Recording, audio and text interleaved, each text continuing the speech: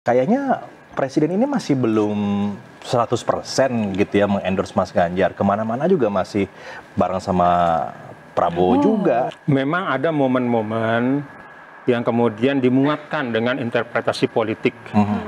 khususnya antara presiden dengan menteri pertahanan. Tapi kalau saya melihat momen itu sebenarnya momen lebih kepada birokratik, teknokratik. Hubungan presiden dengan menterinya Ya, aja. hubungan presiden dengan menteri untuk menunjukkan bahwa ya memang pemerintahan ini satu teamwork. Jadi itu adalah kebersamaan teknokratik, birokratik sebagai satu tim dalam pemerintahan, bukan kebersamaan politik gitu. Cuman memang karena memang kita akan menuju 2024, maka banyaklah interpretasi. Ya. Ya termasuk eh, dari banyak pihak yang melihat ya ini Mas Prabowo nih. Memang kan unik Pak Jokowi ya kalau presiden yang lain itu biasanya di akhir pemerintahan Mhm. dia akan dijauhi. Dia bahkan ada istilah lemdak ya.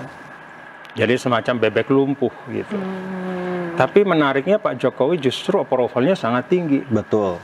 dan eh, apa ya eh, kesukaan masyarakat juga sangat besar gitu sehingga wajar saja secara politik eh, para capres itu kemudian berusaha mendapatkan endorsement Pak Jokowi paling tidak eh, tidak kelihatan terlalu berseberangan. Mhm. Tapi kalau hubungan Nah. Menhan dan anak presiden gimana, Tuan Guru?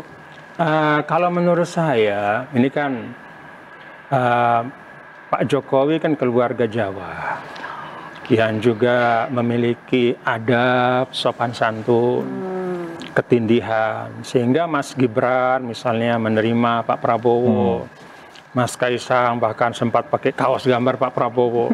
Ramai itu. itu menurut saya adalah bagian dari apresiasi anak kepada mereka yang membantu orang tuanya melaksanakan amanah yang sangat besar. kan begitu, Mas Prabowo ya. Bisa aja. Bisa aja ya. Coba itu bisa aja. Bisa aja Kita ya, kan- ya. Kita enggak coba Mas Prabu, kalau misalnya Mas Prabu melihat ada orang yang eh, membantu Ya. bersama dalam satu tim ya dengan keluarga kita misalnya kan kita memberikan apresiasi.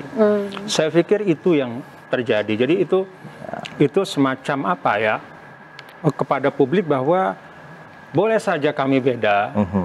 kami tidak mendukung Anda, tapi kami tetap mengapresiasi Anda hari ini sebagai bagian Jadi dari Tuan Guru melihat kalau kebersamaan eh, Pak Itu Jokowi kultural, bukan dengan politik.